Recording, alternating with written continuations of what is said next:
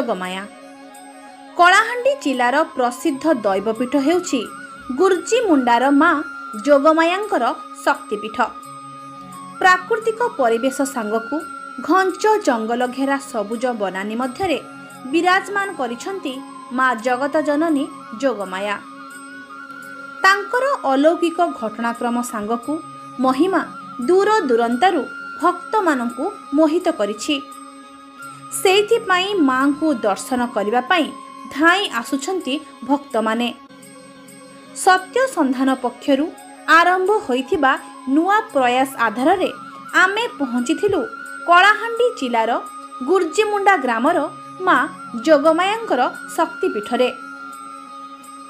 ଆସନ୍ତୁ ଦେଖିବା ମାଙ୍କର ସେହି ଅପରୂପ ଦିବ୍ୟ ରୂପକୁ ଆଉ ସନ୍ଧ୍ୟା ଆଳତୀର ଅଲୌକିକ ଘଟଣାକ୍ରମକୁ ପରଖିବା ସହ ମାଙ୍କର କୃପାଲାଭ କରିବା। ଜୟ ମା ଯୋଗମାୟା।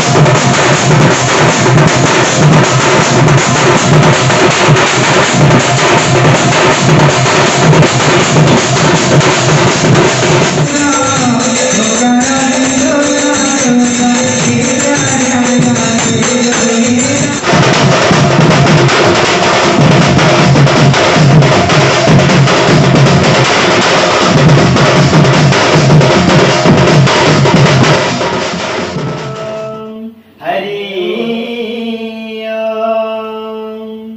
ॐ ध्याये नित्यं महेश्वरजतगिरिनिभं चारुचन्द्रावतंसं रत्नाकल्पजाङ्गपरशुमृगवरा भीतिहस्तं प्रसन्नं।